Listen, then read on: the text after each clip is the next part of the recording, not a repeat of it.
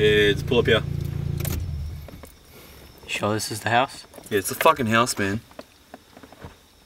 Alright, let's get ready.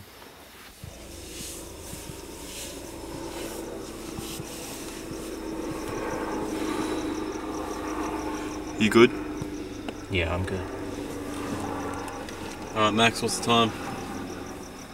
It's 25 past two. Okay.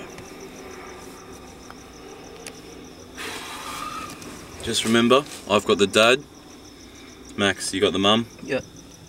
You got the daughter, okay? Now, she's obviously going to be sleeping, okay? So once you get into her room, you jump on her, tie her down with these. Okay. Alright? When you go on top of her, put your hand over her mouth so she doesn't scream, okay? I do not want to fucking hear her, okay? Alright. Now, obviously, she's going to be wriggling around, okay? Show her this, and show her we're going to fucking stick it into her, okay? She'll fucking comply to anything you say. Alright, now with the cops, we've only got four to eight minutes to get out if they come. So how are we getting out of here? Well, the cop is gonna come in from there.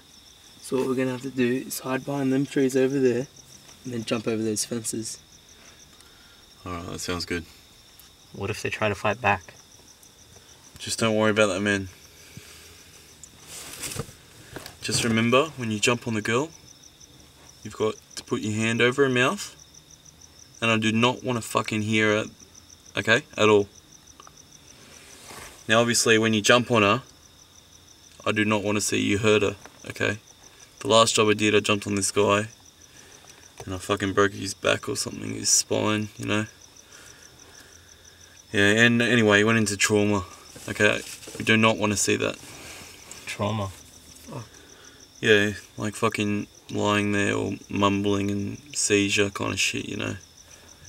As soon as that happens, we've got to get the fuck out if it does, okay? Alright, man.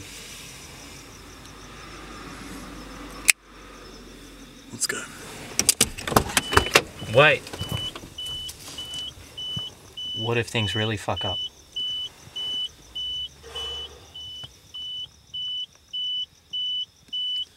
Well, that's just life, isn't it?